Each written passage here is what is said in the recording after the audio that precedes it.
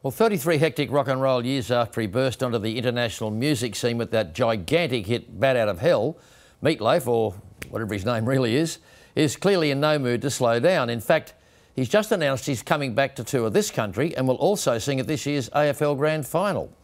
Emmy, Emma Dallymore reports.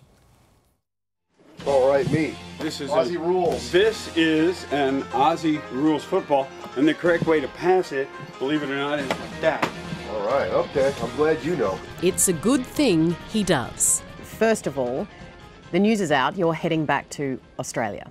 I am, yeah, and it's been, and it's an incredible show, and I, we have a new album, which that's what we're doing. We're we're mixing right now. This is a much more personal record uh, for me. Um, it, it really goes about eh, a lot about how I feel about myself and about how I feel about the world. And how I feel about the world is the world's gone to hell in a handbasket. That is the album title, back to that rock and roll sound, and happy to confront his own demons. You mother, you look at me all do it.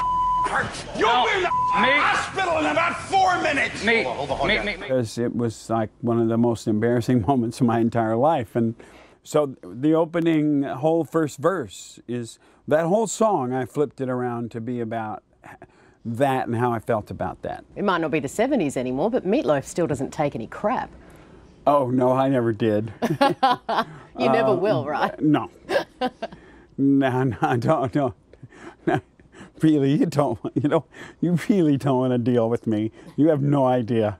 At 64, Meat Loaf still goes like a bat out of hell. He's planning eight concerts in Australia where he'll release the new album and take the stage at the AFL Grand Final.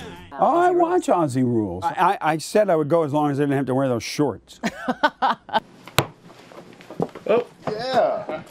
Well, probably also you got to be running. These days, there's just one person he runs around for his newborn grandson, Revel Young. I said, "Where did the young come from?" And they went, "Angus." How did that sit with you? Fine. Okay, here you ready for this one? Yeah. Baby, they get in the car. Right now, you figure the odds on this.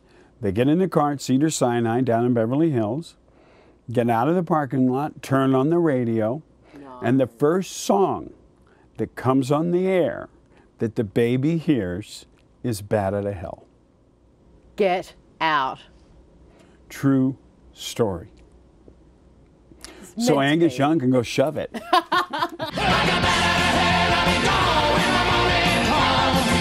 That was 1977 when Meat, as his mates call him, struggled to deal with the fame.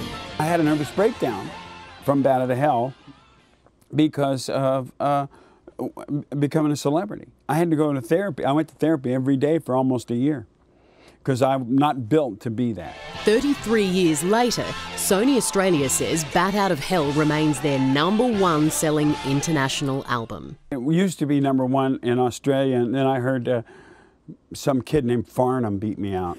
and so I'm going to have to go after him when Bloody I come fun. over there. well, yeah. he's, he's going back on tour too. and Maybe you could meet up with him. Yeah, I'm, I'm, I'm plugging. no, I'm You just can, you can take him down. Yeah, take him down. Get the rage out, John, you don't want fool with me, son. Note to Mr. Farnham Meat Loaf arrives in October. The tour called Guilty Pleasure. What's yours? My guilty pleasure? Uh, gotta be. Gotta be crackers. Crackers. I, you have no idea. I absolutely. All kinds of anything crunchy. Not quite sex, drugs, and rock and roll, but he's pumped nonetheless. For my fans in Australia? Yo, dude! In case you've ever wondered, Meat's real name is Marvin. Doesn't have uh, quite the same ring to it, does it?